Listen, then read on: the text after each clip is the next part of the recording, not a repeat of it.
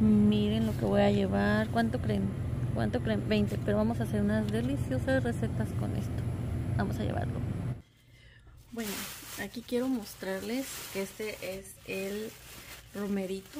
No es el romero que eh, conocen como para aromatizar o que luego lo usan como infusión para este tomarlo o para el crecimiento del cabello ya que tiene muchas propiedades este es un tipo quelite miren así es el romero eh, que lo hacemos para el, el revoltijo o romeritos este me dieron a 20 la libra.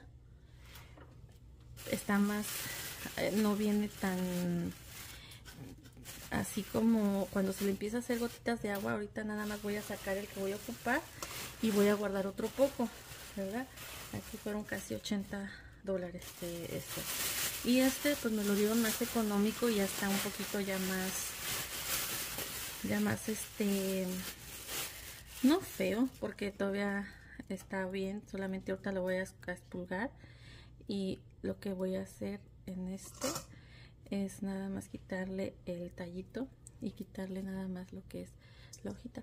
Pero aquí ya están unas como podridas que ya no están tan bien.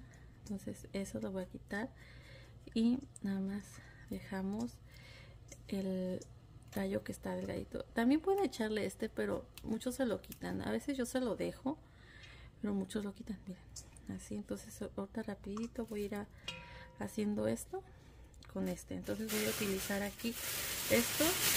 Este me lo dieron a 10 dólares la libra. Aquí es una libra y media. Aquí no recuerdo cuántas libras son pero fueron si no recuerdo 70 80 dólares pero está más apretadito está más todo. Entonces este es el romerito chicas. Entonces vamos a limpiarlo y ya les digo cómo lo podemos este coser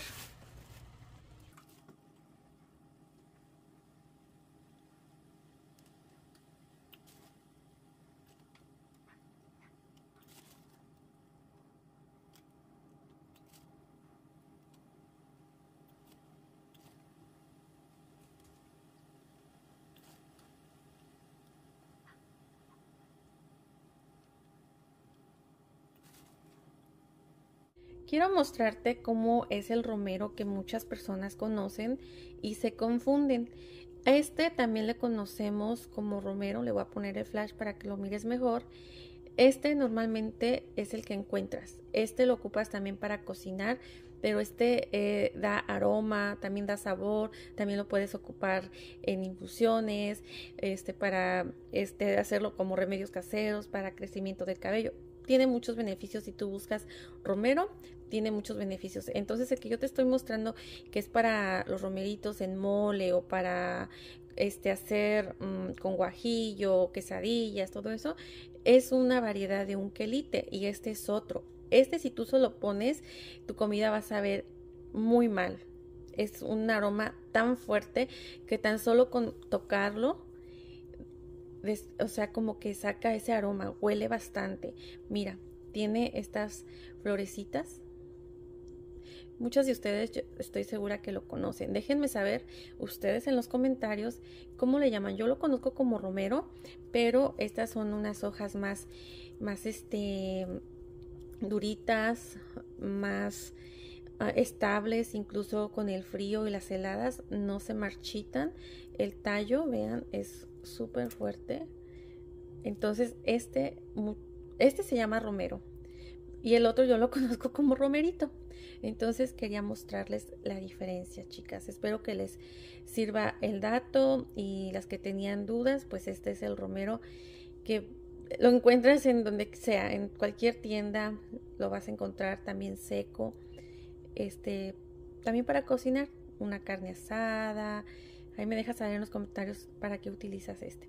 Bueno, este romerito no es para hacer el mole con romeritos o remoltijo, quesadillas, no, porque si haces tan solo con, con hacer una ramita así en una quesadilla, no te la vas a poder comer. El sabor es tan fuerte, tan intenso, tan solo ahorita que lo estoy manipulando, este despide ese olor bien rico de, de eucalipto, de romero. Es un aroma muy, muy rico, pero no es para hacer lo que te digo, o sea, es muy fuerte. miren ya terminé este de limpiarlos todo ese. Le quité lo más que pude. Ya está limpio. Y aquí tenemos los, palitos todos los palitos. Aquí venían unos que no es esto. Venía una ramita también que no es entonces por eso se limpian. Entonces por más que trato ahorita de sacarle más de estas ya no se puede. Ya está esto chicas. Todo aquí. Entonces ya los podriditos ya no de plano ya no. Ahora sí vamos a, a lavar vamos a lavarlos estos y vamos a ponerlos a cocinar.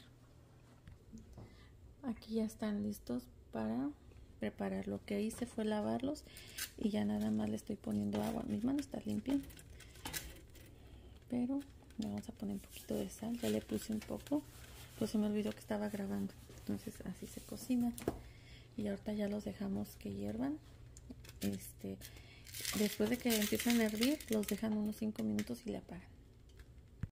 Miren ya están cocidos entonces ahora ya les voy a apagar ya están bien blanditos ahora le apagamos y los escurrimos y los dejamos enfriar pues miren estaba lleno y se reduce la mitad o menos de la mitad. Entonces esto ya están listo para prepararlo con mole en quesadillas como ustedes más los apetezcan. Solitos también saben bien ricos. Entonces aquí los voy a dejar para que se enfríen y yo los voy a hacer en mole. Pero ustedes pueden hacerlos en, con chile guajillo en tortitas en de, con queso y huevo. Déjame saber en los comentarios ustedes cómo los hacen